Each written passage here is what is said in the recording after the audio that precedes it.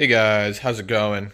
On today's video, I want to go over the start of the restoration of my 87 325 IS. In all the previous videos, you saw me completely tear the car apart. Engine, transmission, rear end, interior, body panels, all off the car Obviously, I put the, the hood and fenders just to save some space. But in this video, I kind of wanted to go over some of the parts that are going to be going back on the car, what's going on with the car, and kind of get you updated since all of those uh, previous videos have, were filmed months ago.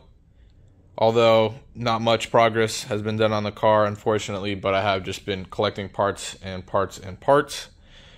So I'm going to go ahead get the hood off so we can see in the engine bay, and then we'll start going over the car. Obviously, there's no wiring. I am going to shave the bay, so I've already started getting rid of uh, most of the extra brackets that were on the chassis and whatnot. I'm also going to do a removable core support. Uh, so most of the spot welds have been drilled out, but I'm waiting to set up a time to have the chassis uh, 3D scanned so that instead of having to cut out all the delete plates by hand, I'd rather just be able to CAD them out uh, so I could just laser cut them and call it a day so that I don't have to try to make my own plate for this and that and a bunch of other stuff all the way around. I'm also going to be doing a chassis harness tuck. The chassis harness will go through, you know, the A pillar and then out underneath the fender through the chassis. Also, the fuse box will be uh, in the interior.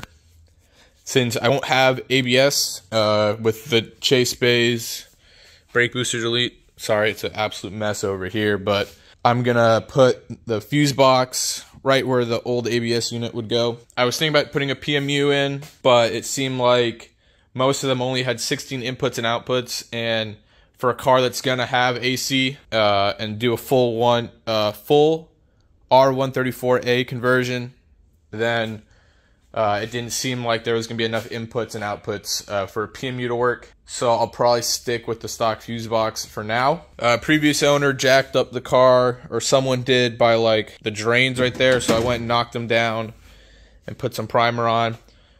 Uh, all of the sound deadening material has been removed from the whole car. I'm going to put fresh material in. Uh, I'm going to go with Vibro, I think it was the name of it. It's right there. I'll show you guys in a second. I'm going to go ahead and when I have the chassis painted, I haven't decided yet, but I'm probably going to have them just paint the floor uh, just so that I can get all the glue off. I'm gonna have to paint the floor anyway, so I'd rather just have it paint matched or have the whole chassis just painted uh, before I lay the new mat down. Also to save some space, I already have the I put my Z3M five lug rear end. If you guys haven't seen that build series, check the link right there. That goes over five lug swapping your E30 uh, and using you know Z3M and E36 M3 parts. So check that out. I also went through, cleaned up, and repainted all of the underside of the car here. I'll throw in some better photos of before and after and some video, but the whole car has been resprayed so it's nice and black. I used a duplicolor uh, like bumper trim, which since the coating is like a rubberized coating, I didn't want to put Raptor liner because it's a very hard. That's a very hard coating. It doesn't flex. So I figured like a like a rubber paint would be fine.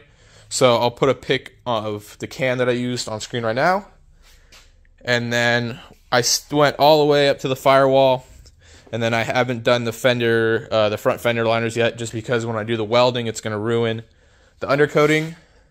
So it stops about here. Unfortunately, I do have the tiniest bit of rust right there that I'm going to have to patch, which compared to the last chassis I was going to use is a piece of cake.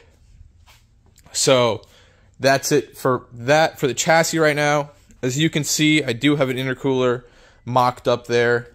So we will be doing a M20 turbo build with AC, as you can see it hiding behind there. I'm checking for clearances and stuff, trying to do the least amount of cutting, and I want the intercooler mounted higher rather than everyone mounts it lower, especially with the late model kit. And you can see the piping coming through the brake ducts, the OEM brake ducts, and everyone, you know, routes it up this way or cuts a hole there and routes it up that way.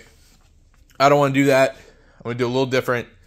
And I want everything to fit nicely. So you still have AC, you still have the right size intercooler, right size piping, and it's just a, you know, a better turbo kit. I'm in the process of that. It's really hard finding the right manifold and everything. I'm going to have to make a custom intercooler for it all to work, but in the end, it will be worth it. My motor is back here. Excuse the flip-flops.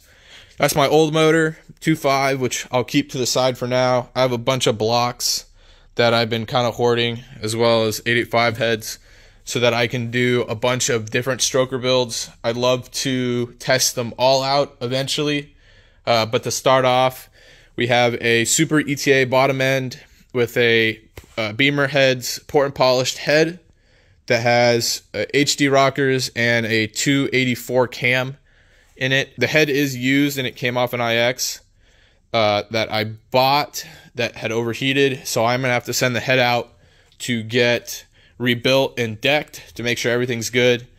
And I'm going to send the bottom end to my buddy uh, Geo, his Instagram right here. Bottom end's gonna go to him and the motor for him to assemble and get the head rebuilt. And that's it for that. I will be doing some good old carbon on the car, roof, trunk, and hood will all be carbon. And I'm going to be doing an MTEC 1 kit. I'm just going to buy a new one from Classic Euro Parts uh, instead of trying to source a really good condition used one, which is going to have a little bit of rust and still some imperfections.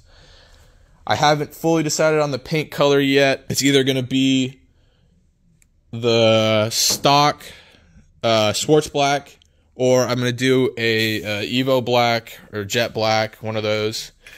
And then I've just been hoarding a ton of parts up here, my E36 uh, five lug front knuckles.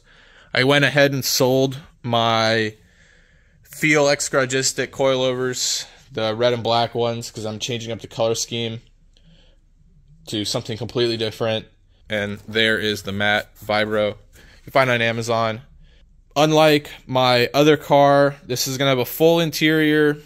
It's going to have all the amenities, speakers, um, power steering of sorts. I'm still going to get a, I'm going to get another half cage just because I like the look. And there's a little bit of safety in that bucket seats. Going to get new carpet. If anyone has an OEM, they make an OEM black carpet, which they sell right now, but they don't make the rear bench seat. I'll put the part numbers on the screen right now. But if someone has an OEM gray one that's brand new with this part number, I would be super interested so that I can still buy the rear section new and I'll get them both re-dyed black, but I'd rather have them both new and both re-dyed so that they're same color instead of buying the new BMW carpet, which is black, but the other part is unavailable.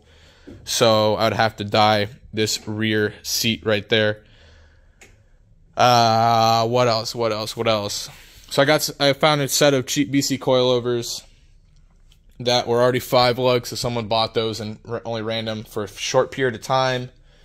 Although I'm going turbo, I'm going to start off with ITBs and headers. So we got the I Ireland Engineering headers right there.